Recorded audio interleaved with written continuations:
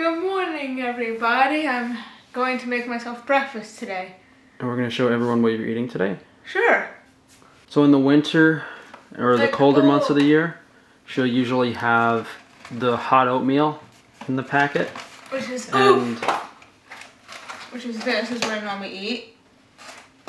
usually I try to get something organic, but my parents cheap out and save a few dollars unfortunately, so I gotta keep an eye on them. How many of these do I normally have? One or two? So these are 140 calories each. Uh, so sometimes I'll give her two, sometimes I'll let her have one. You know, 140 isn't really enough for breakfast, but you know, 300 is a little high. I mean, just to have it from these bars. So they used to actually make these with a lot less ingredients. I think it was around 10. Unfortunately, I guess they're trying to cheap out and just add more additives and fillers. So uh, I'll look uh, for some other stuff next time. But overall, these are just an okay source of caloric energy in the morning when you wake up. Feed your gut bacteria. It's approachable. It's quick. It's easy. It's you know better than what the average American is eating. And you could do a little better with a lot more work. And you know sometimes she will have uh, the bars in the morning for breakfast, but uh, she's actually having these as a snack lately for some more protein. And these are you know by far a better option. But I try to give her some variety. Otherwise, you know honestly, most of the stuff my parents feed her is worse than these you know just eating these best bars every day. So we're gonna have the bar for breakfast, Gina, and usually drink some water with it, right? Uh, sometimes. Or I have organic uh, tea I drink. Organic ginger peach green tea. So if it's like a peach tea, that's actually not that bad because you know the chemical concerns are low. When you do have green tea or black tea, there is typically a fluoride concern in the leaves. Organic green tea, natural ginger flavor, natural peach tea flavor. So yeah, so it's it. it's definitely not ideal, but if you guys are going for a tea, just try to get something that's only the herbs. So Gina's gonna have two of these bars, and then we'll see her for lunch. Mm-hmm. Oh, it's the afternoon. Oh, it's afternoon already? Hello. Gina, you have an interesting outfit on. What does your shirt say? It says, can you read this? Only. Oh no, it says. I only look up to you because I'm short, so Don't flatter yourself. I only look up to you because I'm short. it's true. What's up with the shoes, Gina? You gotta have sparkles in your life, so I hope you didn't have to pay for those. I hope you stole them. I don't steal things. I always buy things. We have all told Gina the lipstick is not needed and ridiculous, but she likes it, so. You've been having uh, peanut butter and jelly for lunch a couple days, right? Yep. Normally you just eat peanut butter out of the jar, though. Yeah, normally I do that. So let's make our sandwich. So some of you might be thinking, Frank, peanut butter and jelly, it's the end of the world, but peanut butter, although it's high in omega-6, it, it could be a lot worse. And having it, you know, a couple times a month isn't that bad. You know, the jelly is just you know, like basically organic grapes concentrated with organic sugar. And then we have this bread from Bread Alone. I just get this because, you know, they have a decent quality sourdough starter and it tastes good. Nine grain I'm not really a fan of. I usually go for breads that are just one grain. It reduces, you know, the sourcing potential issues.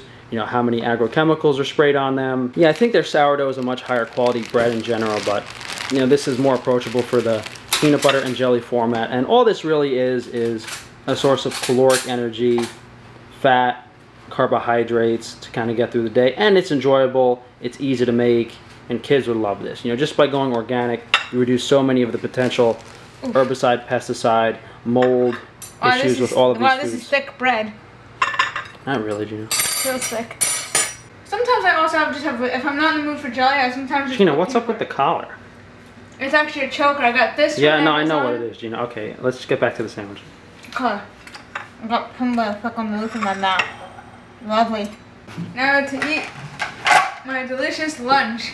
Now we usually use the organic white bread from Whole Foods, and ever since Bread Alone started making this one, I switched over to this. But that's definitely a bit more approachable for kids. Mmm. If a peanut butter and jelly sandwich isn't approachable enough already. Mhm.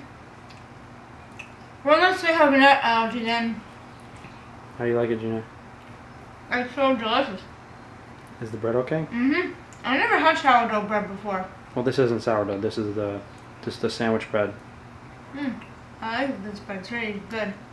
Alright, Gina, so we'll see them for dinner. Mm-hmm. Uh, so these are the ribs uh, we made for the recipe video last Saturday.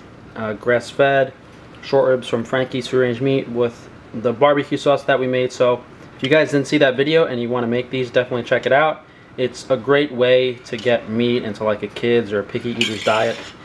You know, they chomp down on some giant rib with a sweet salty sauce on it. They'll love it. So we're just gonna pop this in the oven to warm them up and that'll be dinner. Hi, YouTube people. I'm having ribs with Frank's delicious barbecue sauce. So uh, Gina forgot that we were supposed to film her eating dinner despite eating plenty of food today. So how do you mm-hmm. like the ribs, Gina?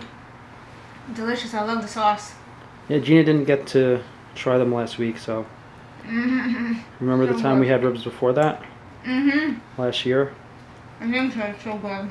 Well, you actually got sick of eating them and didn't want them anymore. Mm. You don't remember that? I don't know. Now I could. Now I definitely enjoy them more because I haven't had them in forever. So if you guys can't get someone in your family to eat enough meat, just smother some barbecue sauce on it. Mm-hmm. All right, Gina, so we'll see the YouTube people for a snack. Mm-hmm. See you two people. Hi, people. I'm going to get my snack. So Gina's snacks are all over the place. Today we're actually gonna have some of the best bars from Frankie's Free Range Foods. So I showed these to you guys in my video on Tuesday, and a lot of you were asking where to get them. They're actually not on Frankie'sFreeRangeMeat.com. They're available on Frankie'sFreeRangeFoods.com. And as much as I would like to be able to ship them together, I just can't do it logistically with you know the styrofoam coolers, the dry ice. Uh, so this is the extra chocolate flavor. Ooh, extra chocolatey. Mmm. It tastes like a chocolate bar. It's delicious. Mmm. Yeah, if you guys have tried the best bars, definitely let me know down in the comments below how you like them. It's delicious. These are actually really good. The only ingredients are beef tallow, chocolate, whey protein, honey, salt, and vanilla. Very, very minimal ingredient, no fiber, cake-like texture, great for kids, younger kids. By far the best tasting and textured protein bar I've ever had, and I've tasted all of the ones available in the supermarket. Mm. That one bar is about 300 calories, so they're very dense, good for survival too. Mmm.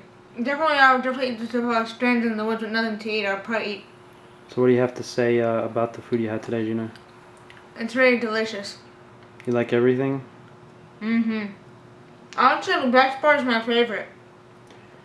Yeah, I mean, everything we've made today is really, really simple and easy. You know, we had the bars for breakfast, peanut butter jelly sandwich for lunch, leftover ribs for dinner, and this. You know, if we had something that was already cooked or prepped or on the go for dinner, we would have done zero cooking today, which is easy, you know, when I'm not here and my parents are with my sister. All right, Gina, I guess we'll see the YouTube people next time. See you next time, YouTube people.